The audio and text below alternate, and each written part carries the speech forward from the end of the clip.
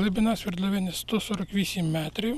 Були свої нюанси під час будівництва, бо вода була на е, глибині 90 метрів непридатна для споживання. Зараз вода придатна, робили лабораторні аналізи, вона пройшла всі по параметрах.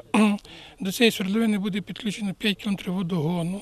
На даний момент водогін вже протягнутий по селі. Хочемо організувати свою бригаду на базі комунального підприємства «Побутсервіс» для підключення мешканців села до даного водогону. Щоб було цивілізовано, бо знаєте, як один так підключить, другий так. А так воно має бути відповідати якимось параметрам, якомусь ГОСТу будемо говорити.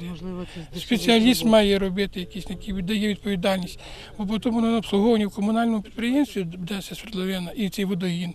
І ведуть вже всі питання опять же, до керівника цього підприємства. Обов'язково встановлення всіх лічильників, обов'язково.